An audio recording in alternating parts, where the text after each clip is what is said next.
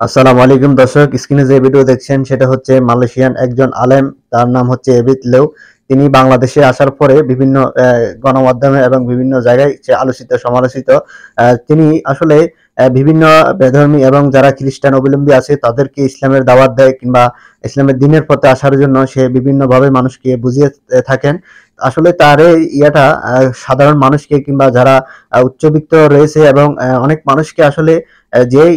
Message কিংবা যে শিক্ষা তিনি দিয়ে যাচ্ছেন সেটা হচ্ছে একটা মানুষ যে নিজের ধর্মকে হয়তোবা এতটাই ভালোবাসে হয়তোবা যে সত্যকে প্রকাশ করার জন্য সে আহ, একটুও পিছপা হয় না কিংবা সে নিজেই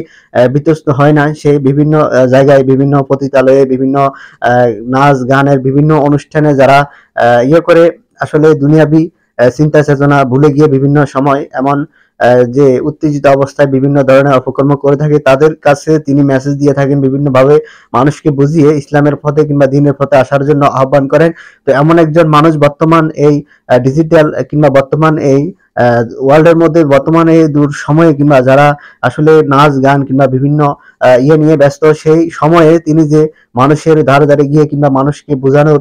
তার এটা নয় তিনি এবং মানবিক দিক থেকে তিনি মানবতার কাজও করেন মানুষকে অসহায় গরিব মানুষকে সাহায্য করে থাকেন। তার এই দৃশ্যটা ধারাবাহিকভাবে আপনারা জানেন যে বাংলাদেশের যে বিশ্ব ইজতেমা আহ, শুরু হয় সে প্রেক্ষিতে ইজতেমার উদ্দেশ্যে তিনি বাংলাদেশে আসেন গতকাল। তো আসার পরে তিনি যে একটি কর্মকাণ্ড করেছেন, সেটা হচ্ছে রেল রাস্তায় যারা অবহেলিত কিংবা যারা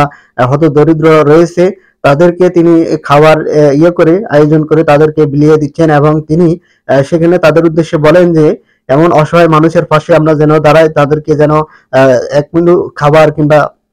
তাদেরকে যেন সাহায্য সহযোগিতা করি তিনি যে ইয়াটা করেছেন সেটা বাংলাদেশের যে যারা উচ্চবিত্ত যারা রয়েছে কিংবা অনেক আলেম যারা বিভিন্ন সময় বিভিন্ন ওয়াজ মাহফিল থেকে লক্ষ লক্ষ টাকা ইনকাম করে কিংবা যারা আপনার বড়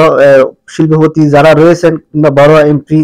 বড় নেতা যারা মেম্বার চেয়ারম্যান পদে কিংবা বর্তমান ক্ষমতাসীন দলের যারা রয়েছেন তাদেরকে এই মেসেজটি তিনি দিয়েছেন যে আসলে তিনি ভিন দেশের একজন লোক বাইরের দেশের তিনি বাংলাদেশে এসে এই মানবতার কাজ কিংবা এই গরিব অসহায় মানুষকে যে ইয়াটুকু করেছেন সেটা আসলে আহ,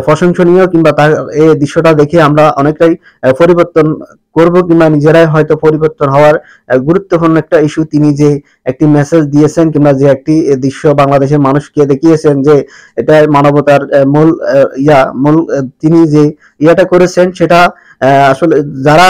বর্তমান যুগে কিংবা বর্তমান ইয়া রয়েছেন, শিল্পপতি কিংবা প্রভাবশালী রয়েছেন, যাদের অর্থ সম্পদ প্রচুর রয়েছে, তারা হয়তো এরকম ইয়াগুলা তার মতো করে না। তিনি যে দৃশ্যটা মানুষকে দেখিয়েছেন, তিনি যে কাজটি করেছেন, মানবতার কাজ, সেটার জন্য তাকে অনেক অনেক স্যালুট এবং ভিডিওটি ভালো লাগলে অবশ্যই শেয়ার করবেন। ধন্যবাদ, সালাম